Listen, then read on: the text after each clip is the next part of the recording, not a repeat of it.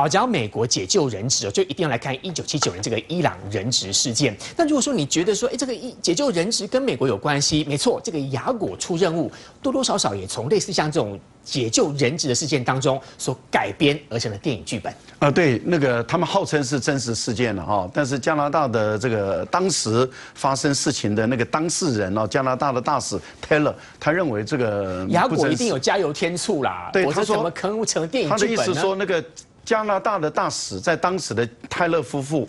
扮演的角色其实更重，但是被这个导演把他稀释到变成他是配角，而变成说，哎，这个美美国的 CIA 的这个情报人员才是真的大功臣。那真正的伊朗人质事件是怎么一回事？呃，他是这样子哦，本来美国在伊朗有扶持一一个政权。就是专制的，呃，应该讲是封建君王的政权，叫做巴勒维国王，就是伊朗对伊朗的国王。叫巴勒维哦，他是一个专一个呃君主的一个国家，帮助他支持他。那后来，但是因为在伊朗的内部里面就发生了这个神学式的一个革命，就是革命卫队了，他们要推翻这些呃君君主的这些统治时代国王，他们要推翻了，所以他们就发动了政变。发动政变以后，这个巴勒维就垮台了，然后神学士啊就科科。梅尼他就成为一个政教合一的，美国没有扶持成功啊。呃，对，没有成功。那那这样的情形下的时候，那巴勒维本来就被后来就被这个他们的神学是驱逐出境。是驱逐了以后，本来你被流放就算，但是问题就是美国给他政治庇护，因为他向美国提出说我要治理治疗癌症，所以美国人就接收他了，他就离开了中东地区，到了这个美国了以后，就激怒了啊，就把这个呃革命卫队的科梅尼他们激怒了，更激怒，激怒了以后他们就。就要开始，群众就是愤怒，愤怒以后就去包围大使馆。是包围大使馆的时候呢，有一些当时第一波的学生攻进去的时候，有一些大使被抓，但是没有多久被放掉了。啊，有一些外交人员被抓，没有多久就放掉了。但是呢，等到整个群众攻陷了美国大使馆的时候，他们来不及撤管，来不及撤管人员怎么办呢？这个中间里面有五十二个外交官被抓了。哇，中间有六个外交官，他是签证官，负责签证的。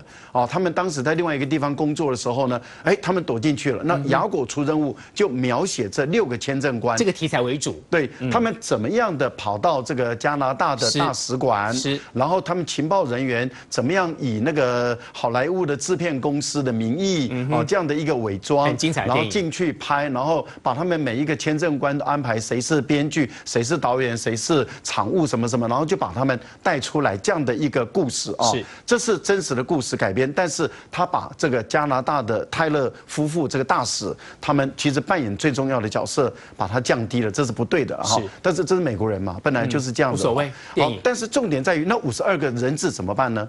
那五十二个人质就变成掌握在这个伊朗的手中，还没救出来啊？对，没有救出来，五十二个人呢，那还得了啊？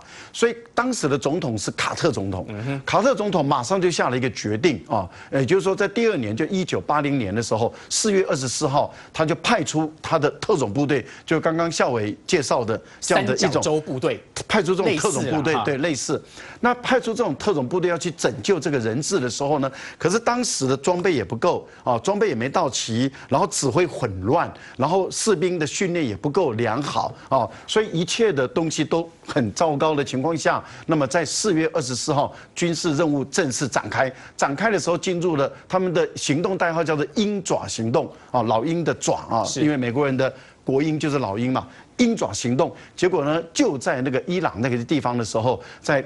就碰到的这个沙漠沙尘暴，就沙漠风暴。结果呢，一架 C 幺三洞跟他们的直升机，好要渗透进去的，就相撞。哎呀，相撞以后就坠毁，坠毁以后就有八个士兵就死在里面。然后这个尸体还被这个伊朗的革命卫队拿走，拿走，拿走以后就游街示众，是就成为一个非常非常有名的。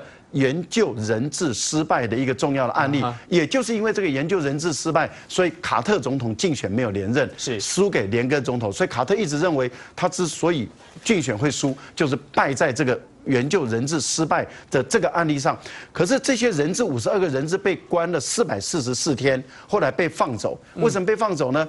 因为刚好在一九八零年的时候就爆发了两伊战争，伊朗跟伊拉克的战争。一旦爆发战争以后，伊朗马上要改变对美国的态度。为什么？因为战争要钱嘛。嗯哼。所以他就要求美国说：这样好了，解除对我的经济制裁，那个解解禁这个。当时你对我在国外的这个财产的这个呃封锁，哦，全部都要归还给我。巴勒维总呃国王的财产要还给我伊朗政府，美国同意了。然后就把这一些经济制裁啦、冻结资产啦，还有巴勒维总统的财产都全部还给伊朗政府了以后，他们就把这五十二个人质还给美国。经过一年之后，还是放出来。所以是用外交的手段救回五十二个美国人质。